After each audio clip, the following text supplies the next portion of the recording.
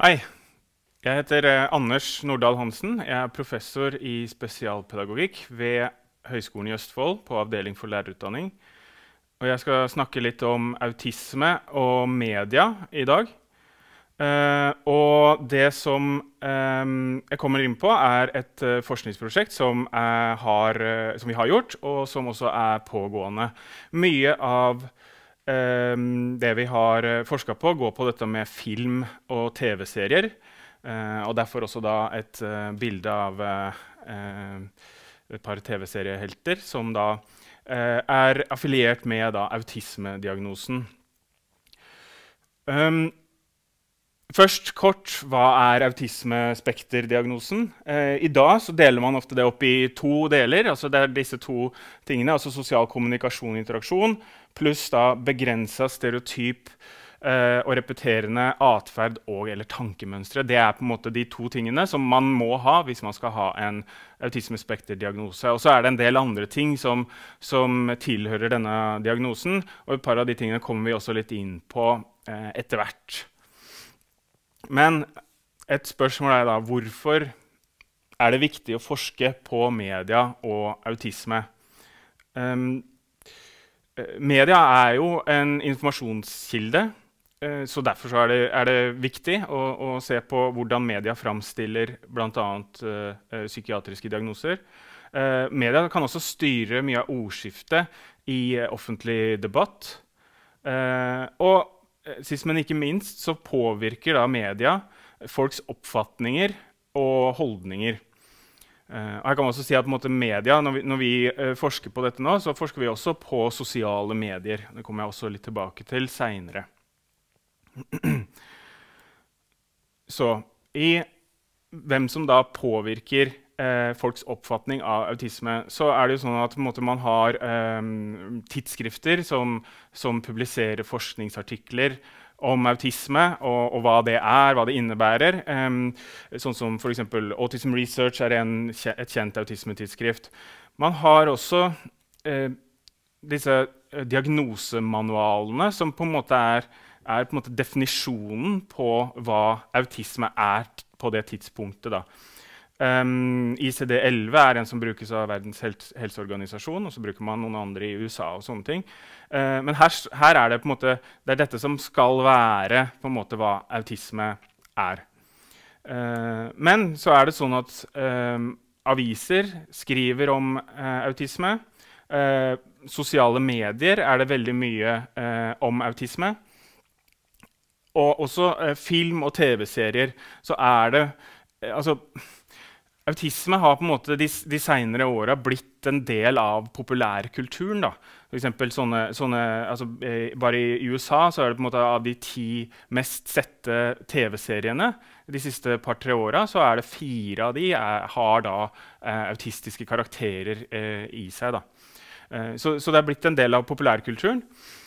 Um, og, og, og derfor det påvirker også da hvordan eh, hvordan eh, mennesker ser på og oppfatter diagnosen. Og hvis man skal være litt ærlig som forsker, da, så er det antagelig sånn at eh, mediene eh, er, måte, eh, når lenger ut da, med, med, sitt budskap om å fortelle om autisme enn det, enn det eh, disse tidsskriftene og, og, diagnosemanualene Det er ikke så mange som sitter og leser leser diagnosemanualer på kvelder, som sitter og ser på, på TV-serier.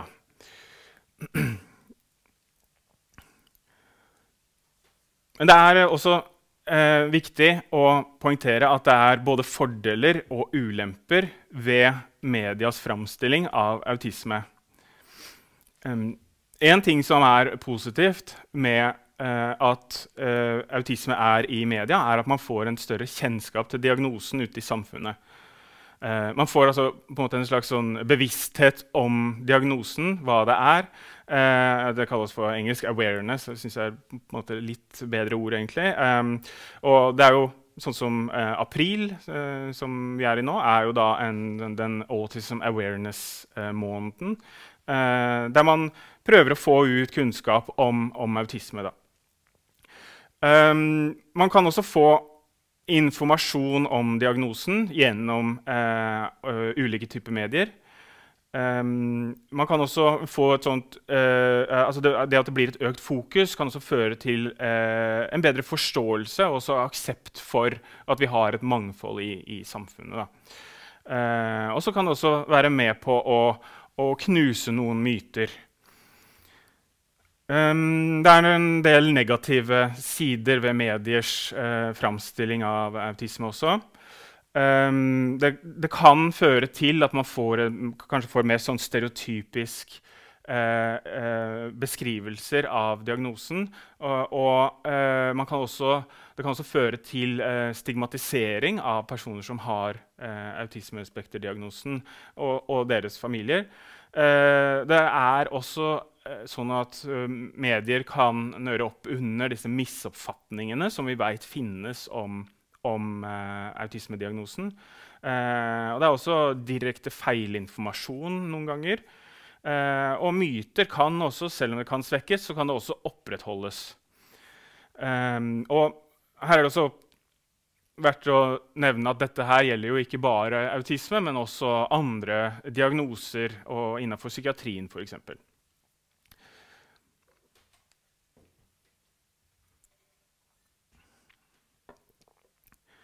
Så skal jeg fortelle litt om hvordan vi kom inn på dette med å forske på autisme, og, og da sånn vi begynte med det, altså på film og, og TV.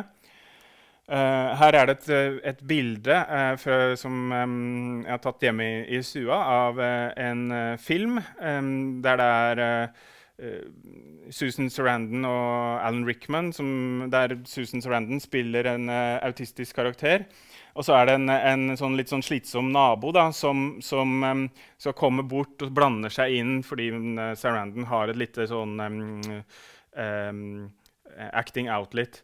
Uh, og hun kommer da og sier at uh, liksom, I know all about autism. I've seen that film. Og, og det er veldig sånn uh, Kan være litt sånn treffende for um, hvordan mange tenker, tenker, rundt autisme. Det var sånn jeg tenkte rundt autisme da jeg var 20 også, før jeg begynte å jobbe i, i, i uh, bolig for barn med autisme. Uh, jeg hadde sett den filmen. Her er det på en måte Veldig mange vil uh, skjønne hvilken film det er snakk om her. Det er da snakk om Rain Man, som var liksom klassikeren som kom, kom i 1988. Um, og, og, og, der er det sånn at det å, det å ha sett en film um, med en karakter med autisme betyr ikke nødvendigvis at du da kan alt om autisme. Fordi dette eh, autismediagnosen er ekstremt kompleks, og du, eh, og du har denne litt sånn slitte eh, ordtaket om at har du møtt én person med autisme, så har du møtt én person med autisme. Eh, det er sånn, man kaller det en stor heterogenitet, at det er veldig store forskjeller mellom, mellom da, fra, fra person til person med diagnosen. Men dette her var da altså måte, Det som trigga oss til å begynne å se på dette, er da dette med med um, det at uh, man kanskje har en for snever um, forståelse av, av um, diagnosen ut ifra det man opplever i medier da, og i film. Uh, og så er det jo sånn at vi, uh, når, når, man skal forske litt sånn seriøst, da, som vi tror vi gjør, så, så er det jo sånn at du må sjekke om det har, har blitt publisert andre studier innenfor, dette feltet eller nærliggende felter. da. Eh, og da finner vi eh, at det er blitt publisert eh, noen studier på dette med da, psykiatriske diagnoser, hvordan det portretteres på, i, i, i, fiksjon. Uh, og så Jeg har skrevet også sånne større numre i disse forskningstidsskriftene. Her er det et par eksempler fra 2000-tallet. Uh, så, og, så, på en måte gjør vi en sånn ordentlig sånn litteraturundersøkelse på dette. her, Og så finner vi da uh, at i, i, i da, uh, The Lancet, som er et veldig kjent eh, tidsskrift, um, så ble det da publisert i 1936 så ble det publisert et studie om, om dette med, med film og, og psykiatri. Uh, og så finner vi også da, uh, Tilbake i 1912 så finner vi også da publikasjoner på dette med psykiatri uh, på film. Så dette er et, um, et, forskningsfelt som absolutt ikke er nytt. men det er um, ganske nytt når det kommer til dette med autisme og film. Da. Så dette her er mer psykiatriske diagnoser og, og sånne ting. sånn som schizofreni, f.eks. Ja, um, hittil så har vi uh, noen um, publikasjoner på uh, dette med autisme og film og TV. Uh, og jeg skal komme litt mer inn på da, det, det, vi har gjort der. Um, det, men det som også er litt sånn interessant, er jo, er jo også at akkurat det det feltet her, sånn, autisme, film og TV og, og, og sånn altså, jeg kommer Vanligvis så forsker jeg på, på, på, um, barn og unge med autisme. Og det er mye mer, sånn, altså mer sånn innenfor sånn utviklingspsykologiske eh, aspekter som jeg, kikker på. Også i for, forbindelse med skole og barnehage og, og sånne ting. Um, men, men, dette film og TV eh, og autisme, det er eh, på en måte kanskje litt mer um, ja, hva skal vi si, altså, Kanskje litt mer sånn medietekke. da. Eh, det antok vi også, i og for seg, men, men vi, vi, så jo da på en måte etter at vi publiserte disse studiene, så, så, så ser vi at eh, altså dette, her er det sånn, eh, noe som heter uh, altmetric score, da, som på en måte samler opp alle medieomtaler som, som er, er, kommer på, på, på grunn av det studiet som vi gjorde. da. Eh, og da ser vi at den, den, den er på en måte den um, uh, scorer veldig høyt. altså Det står 50 000, av, men det er av 12,5 millioner. da, altså Mest på en måte uh, referert til i medier og, og, og sånne ting.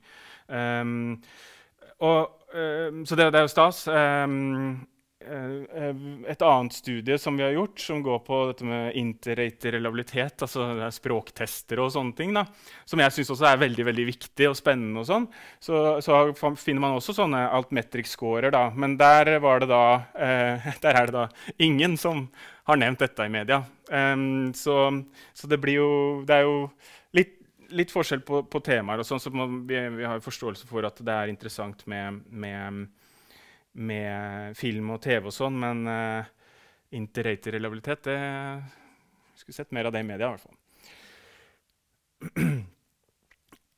ja, men tilbake til uh, um, autisme og uh, film- og TV-studiet vårt. da.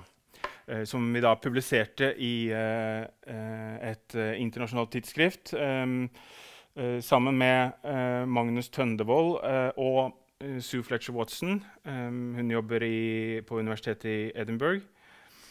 Um, der var på en måte Det spørsmålet som vi hadde, var da er autistiske karakterer framstilt i tråd med da, diagnosekriteriene altså som jeg nevnte tidligere, altså disse definisjonene av hva autisme er. Uh, vi brukte da det som heter DSM-5, som er et, eh, det amerikanske ko kodingsmanualen. Eh, vi ønska også å sjekke eh, eh, en annen ting. Det var også på, på måte om, om, om disse eh, filmene og TV-seriene fokuserte veldig på det som kalles savante evner, eller altså, la oss si sånn superskills. At man er liksom ekstremt god på én eh, eh, liten ting, mens man ikke er god på eh, veldig mye annet. Um, ja, superevner er det veldig sånn forenkla sagt. da. Um, um, ja, og uh, vi brukte et observasjonsdesign. I dette tilfellet så betyr jo det at vi da egentlig satt og så på filmer og TV-serier. Uh, og det høres jo kanskje veldig koselig og, og fint ut. Litt sånn popkorn og brus og sånn, men, men så må også huske at måte, det, det, er, eh, vi har med noen TV-serier som har 10-11 sesonger, så vi må sitte og kode eh, disse her. Så på en måte etter hvert så blir det ganske mange timer, altså mange hundre timer med, med jobb bak dette her. sånn. Um, så det var ikke bare, bare kos. holdt jeg på å si. Um, det er også uh, sånn at måte, Hvis du skal gjøre det her skikkelig, så, så, observasjonsstudier, så, så, skal du jo helst ha da, to personer som uavhengig av hverandre ser på disse filmene og, og, og koder de, sånn at måte, du vet at måte, altså For å prøve å få studiet ditt på en måte mest mulig objektivt. Da, at det ikke bare er, er jeg som sitter og, og synser om, om disse tinga her, men det er en annen som sitter og koder det, akkurat det samme som meg. da. Eh, det, det, det, gjorde da Magnus Tøndevold og jeg, og vi eh, var ganske enige i eh, altså Vi regner da reliabiliteten på våre observasjoner og sånn, og, og, der var vi ganske enige på det meste, men ikke alt, som, som det alltid er.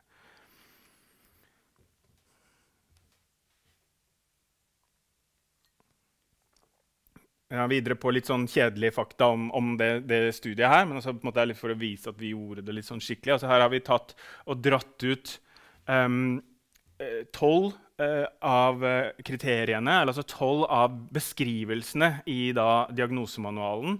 Uh, og det er egentlig, egentlig på en måte, det dekker på en måte alt av det som står i diagnosemanualen.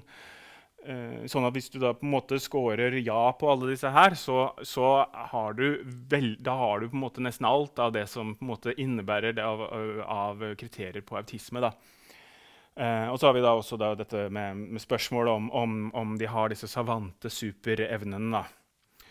Um, utvalget vårt eh, 22 filmer og fire TV-serier. Og det måtte være da eh, filmer og TV-serier der vi visste at dette var autistiske karakterer, enten at det var nevnt at de var det, eller også at de var måte, veldig høyt måte, diskutert om at disse her er nok autistiske karakterer. og sånne ting. Derfor har vi også med bl.a. Broen og Big Bang Theory og, og, og sånne type TV-serier i, i, utvalget vårt. Selv om um, de som lager serien, og sånn, er litt sånn uh, Ikke helt gira på å si at de har, uh, har på en måte autismespekterdiagnosen. Uh, halvparten av de som var med i utvalget vårt, av disse 26 filmene og seriene, de, de hadde da utviklingshemming. Um, filmer og TV-serier fra elleve land og fire kontinenter. sånn at vi valgte også noe, noe, eh, altså at vi skulle ha på en måte ikke bare Hollywood-filmer, eh, for der er det de, des, desidert mest. da. Eh, og så var det da uh, syv kvinner uh, som var representert uh, som autistiske karakterer i, i dette um, utvalget vårt. Her er egentlig hovedfunnene våre. Eh, veldig enkelt eh, eh, altså beskrivende analyser vi har brukt. Altså, vi bare teller opp eh, bortover hvor mange, hvor mange, av disse eh, trekka som disse personene hadde fra den, denne kodingsmanualen, der du kan få en maksscore på 12. Um, og vi ser jo da at uh, veldig mange av disse filmene scorer veldig høyt. Altså at, de, uh, at, disse karakterene i filmene har mange autistiske trekk. da. Um, og uh, her har vi bl.a. Rainman. vi har andre mer eller mindre kjente, kjente filmer. 'Snowcake' var den med Susan Sarandon og Alan Rickman som jeg viste til tidligere. Eh, Big Bang Theory, eh, Broen, eh, Community er kjent for mange. Um, og Mozart and the Whale. Altså, det er en del forskjellige her. Um, men det som, er, det som, dette viser for oss, da, er at det er veldig mange av disse uh, karakterene som scorer veldig høyt. Altså de har veldig mange uh, trekk, uh, og, og ut fra de beskrivelsene i diagnosemanualene. Og da eh, tenker jeg Vanligvis så er det ikke sånn at man har alle, alle beskrivelser i diagnosemanualene finner du som regel ikke i, eh, i autistiske personer. Eh, dette er fordi måte, diagnosemanualet er lagt opp til å beskrive veldig, eh, veldig rikt rundt, rundt uh, diagnosene. Så det er sånn Du kan ha dette, du kan ha dette, men, og, og, og, du kan ha dette, men ikke nødvendigvis alle, alle tingene. Da. Men i disse karakterene her så, så, så puttes på en måte eh, alle trekkene blir på en måte putta inn i disse karakterene. Så det blir en slags sånn derre eh, tekstbokeksempel på eh, autistiske karakterer. Um, savante evner, der så vi at altså disse superevnene eh, At det var eh, eh, Nesten halvparten av karakterene hadde en eller annen form for Eh, superevne eller en eller annen form for eh, evne som på en måte skiller seg ekstremt ut. Om det er på en måte å telle tannpirkere eh, hvis de ramler på gulvet eh, og teller kort, sånn som i Rainman, eller om det er på en måte at man har eh, eh ekstrem hørsel eller et eller annet sånt, så, så, så er det på en måte Ja, det er litt sånne ting da, som det, det dreier seg om. Uh, der kan man jo si at disse eh, Vanligvis så er det sånn at måte, autistiske personer eh, har Det er en større sannsynlighet for at man har savante evner, men det er på en måte et sted mellom én til tre av ti personer som har det med diagnosen. Da. Så det er, det er mer sjelden enn en det som det er på disse filmene. i hvert fall.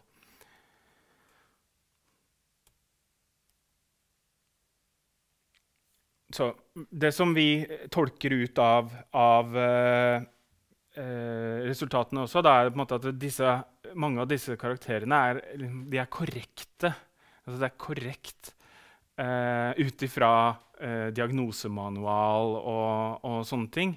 Men det er ikke autentisk. da. Altså det virker ikke ekte. Eh, sånn som vi kjenner autisme i, i, i, hverdagen, og sånn som uh, personer med autisme kjenner seg igjen i å, å ha diagnosen. Uh, så, så, der er det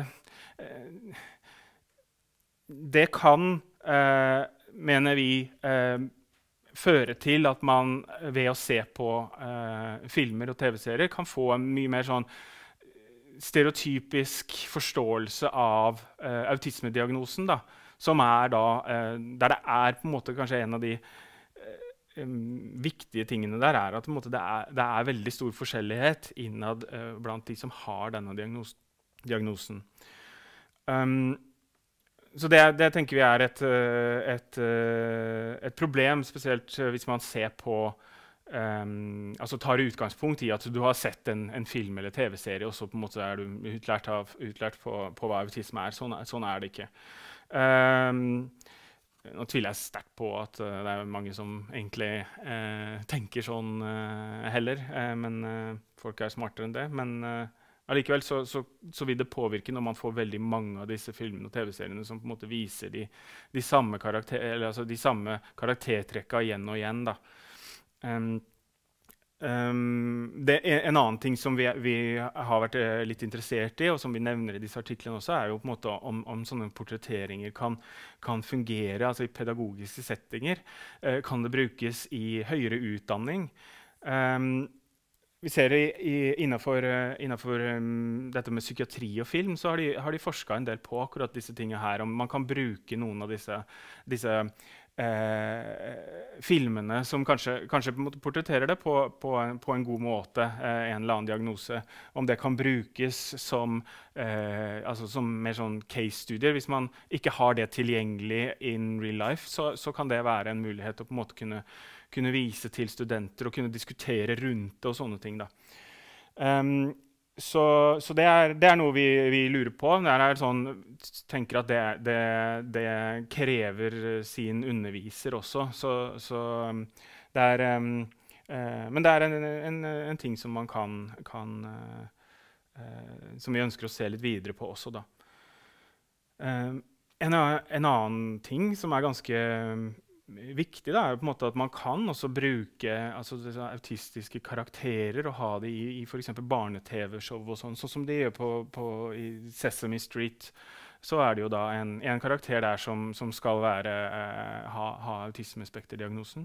Eh, og det kan da eh, også føre til at man, eh, at man eh, kanskje eh, får en, en, større Åpner opp litt for på en måte sånn mangfoldstanke, og at man, at man kan eh, kanskje redusere sånne ting som mobbing, og, og, at man har en større forståelse for, for annerledeshet. Um, når det kommer til eh, eh, hvordan eh, filmer og TV-serier blir mottatt av, av eh, personer med diagnosen selv, Eh, det er eh, Der har vi på en måte noen sånne eh, Altså der kan man gå til sosiale medier og se. her er det en person som er da veldig kritisk til da, denne Atypical TV-serien, som dere kan se på, på Netflix ligger vel den. Uh, tre sesonger, tror jeg. Um, og uh, her snakkes det da om at det oppleves som altså, dehumaniserende. Uh, og så har man en annen kjent britisk autistisk dame som heter Robin Stewart, som, som, som, da er veldig positiv igjen til da, denne atypical TV-serien. Så her er det på en måte veldig sånn, delte meninger uh, ut ifra hvordan de opplever eh, opplever disse TV-seriene. Og det er det også jeg opplever når jeg snakker med, med eh, kollegaer og, og, venner og kjente som, som har eh, autismediagnosen. At de også eh, har delte meninger om hvordan ulike filmer og TV-serier eh, er. Om de er gode eller dårlige. og sånne ting. Da. Sånn vil det alltid, alltid være. Um, men det, det, er verdt å, verdt å, å, å tenke over. Og vi har også lyst til å se litt videre på dette her. altså på en måte ha mer, eh, mer altså vi, vi, jobber allerede sammen med autistiske personer som, med, som medforskere, eh, men også gode, gode samtalepartnere som vi, som vi da eh, diskuterer dette her eh, med. Um, det bringer meg litt over på også hva vi um, driver med nå. Um, så vi holder fortsatt på med dette autisme- og film- og TV-serieopplegget vårt. Uh, der er det jeg og en som heter Michelle Dean fra um, California, som har gjort en, en, studie som vi har sendt inn nå, er en, uh, der, der, vi samler opp alle studier som er gjort på dette med autisme, film og TV. Um, for å se, se, hva er det folk har forska på. Uh, vi ser at det er veldig mange forskjellige felter uh, som har forska på dette. her, altså Engelsk litteraturforskere, uh, medieforskere, filmforskere og sånne ting. Og Der må man jo bare innrømme også at vi er autismeforskere. Så vi er jo ikke noen film- og TV-serieeksperter på den den, eh, altså det er ikke det vi har doktorgrad i. Uh, og, og, det, uh, og, vi har, uh, men, så, men, vi bruker da andre til å få råd og tips om hvordan vi skal forske på det. Men det er interessant å se på hvordan ulike forskere fra ulike disipliner da, ser, på, ser på dette med autisme og film og TV. og det, Den studien kommer forhåpentligvis ut etter hvert. Um,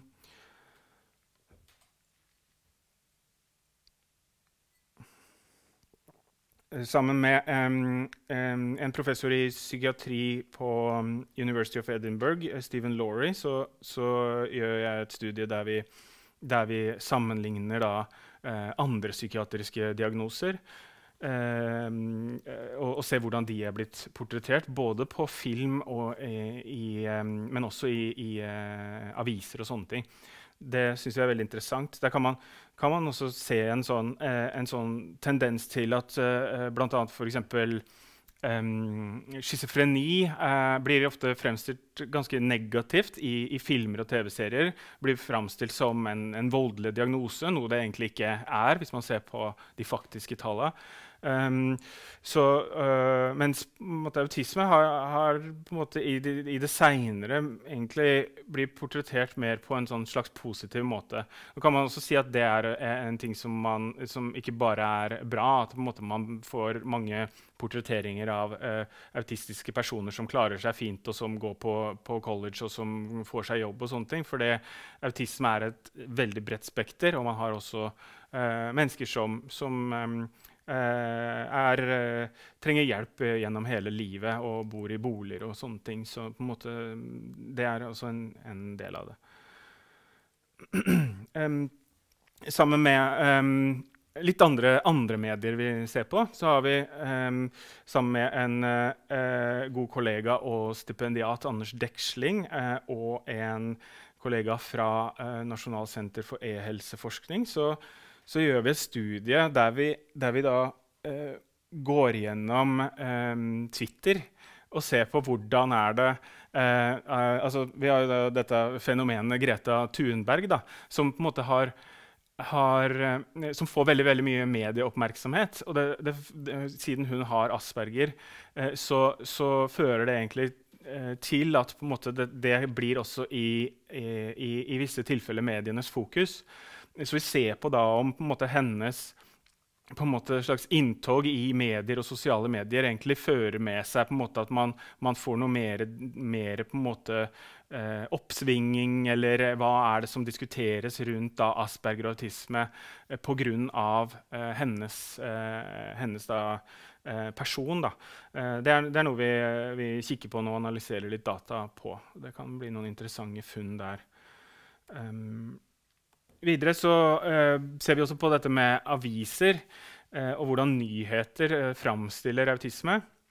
Um, hvordan vinkler mediene nyheter om autisme? Uh, vinkler de det fra et sånt mer sånn medisinsk perspektiv, eller er det mer sånn sosialt perspektiv? Det, det, er, det har, vi egentlig sett på i en, uh, i en, finsk studie som jeg er med på, der vi ser på, på um, hvordan um, avisen i Finland framstiller eh, autisme der. Eh, men vi ønsker å gjøre det også mer eh, sam sammenlignende eh, f.eks. Norge, Storbritannia og USA og andre land på hvordan, hvordan da, autisme har blitt og blir framstilt i nyhetsbildet. da. Og så er det jo også en del myter om autisme som er problematiske. Um, vi har um, det, dette med MMR-vaksina, uh, som, som, som, på en måte kommer fra altså Motstanden mot MMR-vaksina kommer fra et, et studie som, som senere har blitt trukket tilbake. Uh, men, men um, Uh, man har en hel bevegelse som jobber for at man, uh, for at man skal uh, altså imot, er imot da, vaksiner og, og, sånne ting. det opplevde jeg bare på, på en, en artikkel som jeg publiserte i, i, fjor om regresjon. eller altså at, måte, at barn, småbarn med autisme får, uh, altså, ser ut til å miste noen uh, ferdigheter, gjerne sånn mikroferdigheter, i løpet av de første par leveåra. Da var det disse antivaksine Um, personene på sosiale medier de, de heiv seg over den studien da, og begynte å, å, å tvitre om den, om, om at ja, her ser dere Eh, at uh, vaksiner fører til at man mister, uh, mister evner og, og, sånne ting. Da. Nå er jeg ganske sikker på at de ikke har lest hele artikkelen. hvis Da hadde de antagelig ja, Spørs om jeg hadde fått overtalt de uansett, men, men, det er ikke det studien handler om i det hele tatt. Men, men det er sånn, altså, så, så, dette har vi også lyst til å se på. Hva er det, hva, hvordan er det sosiale medier på en måte fungerer. altså hvordan, hvordan, er diskusjonene, hvordan er argumentasjonen innenfor da antivaksinebevegelsen versus da de som, som, har det motsatte standpunktet. Og se da hvordan det, det eh, fungerer. Og det er jo, eh, det er jo eh, også interessant med da, dette med vaksiner og, og, og, og altså motstand mot å ta dette her og sånn også i disse covid-19-tider. Um, så kanskje forhåpentligvis kan vi lære noe av å kikke litt på, på, på, hvordan det har vært fordi innenfor autismefeltet. Uh, så har på en måte disse antivaksinebevegelsene vært lenge aktive. Um, en annen ting som vi også tenker å gjøre med, med disse studiene her eh, videre, altså er å få, skaffe oss mer kunnskap om hvordan medier og sosiale medier påvirker folk. Eh, eh, men også da prøve å, å, finne ut hvordan vi kan på en måte, hvordan, Hva slags medier og sosiale medier er det som fører til at måte, man, man, kanskje svekker, eh, svekker, stigmatisering, svekker stereotypier til da autismediagnosen. Um, og Uh, og da, måte, da har vi tenkt bl.a. Å, å, å involvere mye mer uh, familier der personer har autisme, og også personer med autisme sjøl, til, til, å kunne bidra inn i den forskningen der intervjuer og, og, og sånne ting. Og også etter hvert prøve å, å kjøre, kjøre, eksperimenter med, med Eh, altså, eh, der, der, vi ser hvordan er det man kan på en måte svekke eh, stigmatisering og stereotypier da, i, i, i, samfunnet ved, ved å, å um, eksponere folk for eh, god og riktig informasjon, f.eks., kontra eh, negativ. Um, helt til slutt så eh, er det sånn at jeg er nødt til å eh, Eller og vil gjerne um, takke mine medkollegaer med som er rundt omkring i, i Norge og eh, i verden. Um, så de ser dere her sånn. Uh, et veldig, veldig uh, dyktige mennesker som jeg jobber sammen med, som, som um, er uh, veldig givende å jobbe sammen med. Så jeg lærer mye av dem. Så tusen takk til dere. Og til slutt, tusen takk for meg. topp hvis du klarte å, å følge med helt til slutt.